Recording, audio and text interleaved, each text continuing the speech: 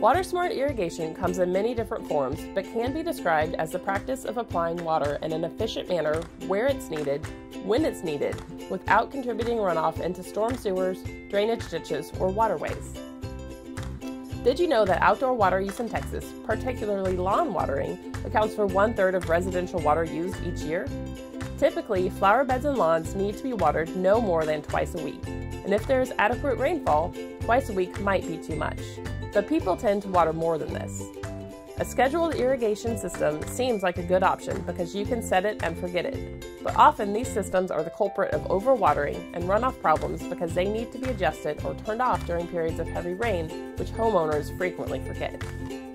There are many ways to get water to plants. The most efficient and productive are regular rains. Handheld hose watering is a relaxing and pleasant gardening chore when compared to many other garden activities. However, hand watering can waste a lot of water and can be very time consuming for a gardener with a lot of ground to cover. Irrigation systems need to get water 6 to 12 inches deep into the soil for maximum effect. The best choice for your yard is a drip irrigation or low volume irrigation system. These low volume irrigation systems deliver water directly to plants in an efficient way with little water loss through evaporation and runoff. These systems use less water than traditional irrigation, which saves you money as well as conserves our water resources. If you choose to use sprinklers, they should be directed a minimal distance from the ground and set to disperse water in large droplets rather than a misty spray. This reduces the amount of water lost to evaporation. Remember to water early in the morning or in the evening when temperatures are cooler and less water is lost to evaporation.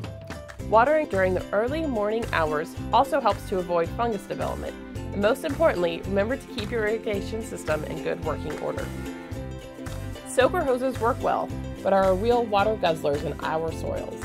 They must be placed fairly close together or be left on for long periods of time to soak a large area.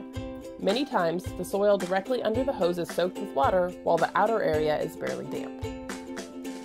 In ground sprinkler systems use a lot of water, the water is dispersed so rapidly that it often cannot soak in as fast as it is dispersed. In-ground water systems have their place. They are efficient lawn watering systems, but they may or may not be the answer for flowers or vegetable gardens. Rainwater harvesting can reduce the amount of drinking water used for landscape irrigation. You can collect rainwater in a large cistern, tank, or barrel, which can be connected to a low volume irrigation system or water can be taken directly from a rain barrel to hand water your garden. It is important that we conserve all natural resources, and water is one of the most precious. It is also important that chemicals, fertilizers, and nutrients, even organic products, stay in your yard where they can be used by your lawn and garden. Properly used, low volume irrigation seldom produces a runoff problem.